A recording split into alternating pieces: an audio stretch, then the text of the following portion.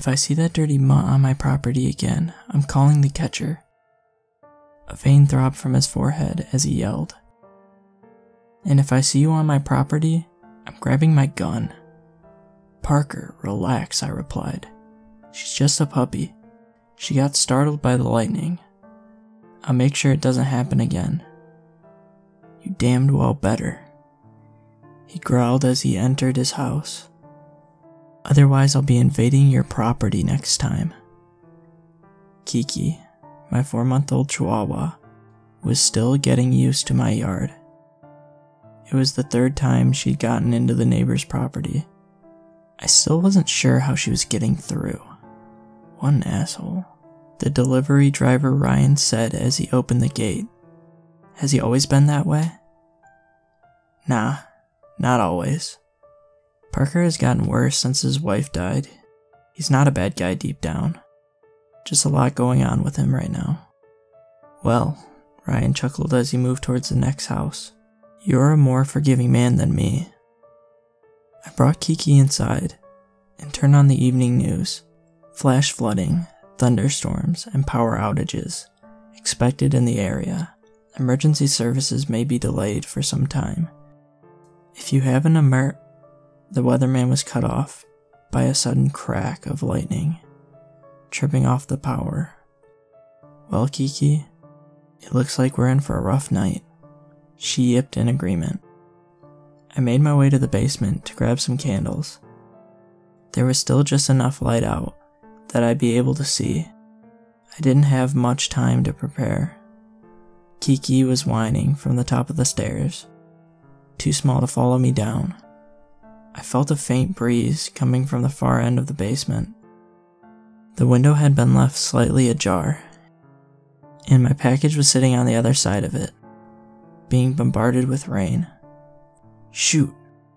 I gathered the candles and ran upstairs to grab the package before it was entirely destroyed. The weather was apocalyptic. Gray clouds moved towards my home like a stampede, trampling over one another. Bolts of lightning littering between them. A torrential downpour attacked me from all angles as I leaned out to grab the soggy cardboard box. I slammed the door shut, silencing the heavy rainfall into a gentle pitter patter. Well, girl, it looks like you're sleeping with me again tonight. Your new bed just got soaked. Kiki murmured and lay down on the carpet next to the couch. I had nothing to do since the power was out, so I laid on the couch and played on my phone until the battery died. I fell asleep shortly after. A large crack of thunder pulled me awake. Kiki squealed as she ran out the doggy door. Kiki, no!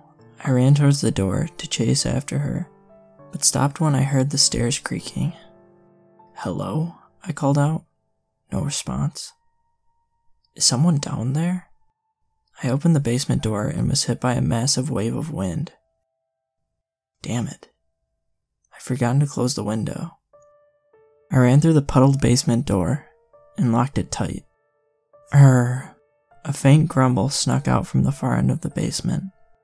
Who's there? I shouted as I tiptoed towards the noise. A dark, hunched over figure was crouched behind a pile of boxes. What the hell is that? It crawled forward and pounced me before I had a chance to react. Gah, help! I screamed as it scratched and clawed at my face. I placed both my hands on its hips and pushed, sending it flying a few feet away. I scrambled up the stairs, but the figure grabbed my left foot at the last second, slamming my face into a step. I kicked and flailed free as several teeth flew out of my mouth from the impact. I escaped to the other side of the door. I tried to slam it shut, but an arm slipped through to block the way. Please, I screamed. What do you want? I held my back against the door as the intruder slammed against it repeatedly, inching it forward a bit more each time. I braced my feet against the wall in front of me. The door began to crack with each slam, wood splitting in rhythm with the thunder. Bolt of lightning illuminated the room as the intruder burst the door. the knob busting the side of my head as he pushed through. Whatever you want, just take it, I yelled as I pushed myself backwards on the ground. The intruder fell on top of me, placed his hand around my neck, and squeezed. Stars began to dance in my vision. The calming pitter patter soothing me as my vision began to fade. Crack. A loud bang rang out, louder than any sound of thunder. As my intruder fell to the ground, gripping his side, Kiki ran towards me, licking my face as Parker appeared behind her, gun smoking in his hand. Parker helped me tie Ryan up. The bullet had nicked his stomach, but he was still alive. Apparently, he noticed the window was open when he dropped off the package and figured my house would be an easy mark. Kiki had ran outside and went to the only other place she knew Parker's. We left Ryan bleeding in the basement for a few hours before calling 911. Guess I'm not as forgiving as he thought.